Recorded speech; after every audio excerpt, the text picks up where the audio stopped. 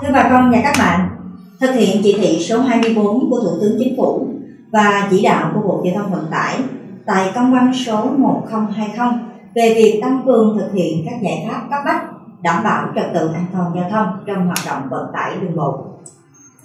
Giám đốc Sở Giao thông Vận tải công bố kế hoạch số 1591 kiểm tra về điều kiện hoạt động kinh doanh vận tải hành khách theo hợp đồng trên địa bàn tỉnh An Giang.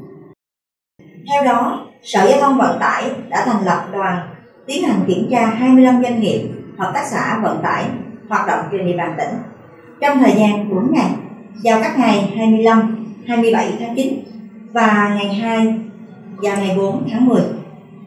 Nội dung kiểm tra tập trung điều kiện pháp lý để kinh doanh vận tải, phương án kinh doanh và giấy đăng ký chất lượng dịch vụ vận tải của đơn vị. Việc thực hiện công tác đảm bảo an toàn giao thông của đơn vị. Công tác tập huấn nghiệp vụ, đạo đức nghề nghiệp đối với người điều hành vận tải. Lái xe và nhân viên phục vụ trên xe của các đơn vị vận tải. Tổ chức quản lý lái xe và nhân viên phục vụ trên xe. Việc ký hợp đồng lao động, khám sức khỏe định kỳ, vân vân. Lắp đặt thiết bị giám sát hành trình. Thực hiện việc thông báo tới sở giao thông vận tải. Các thông tin hành trình như điểm khởi hành lộ trình điểm đón trả khách. Điểm kết thúc hành trình, thời gian thực hiện hợp đồng và số lượng khách.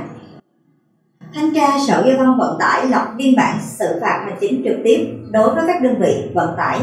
Nếu trong quá trình kiểm tra phát hiện có vi phạm về quản lý vận tải và điều kiện kinh doanh vận tải theo quy định tại Nghị định số 46 của Chính phủ và Thông tư số 10 của Bộ Giao thông Vận tải quy định trách nhiệm và xử lý vi phạm trong hoạt động vận tải bằng xe ô tô.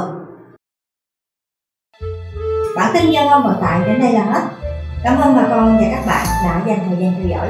Xin hẹn gặp lại bà con và các bạn trong bản tin giao thông phần tiếp theo.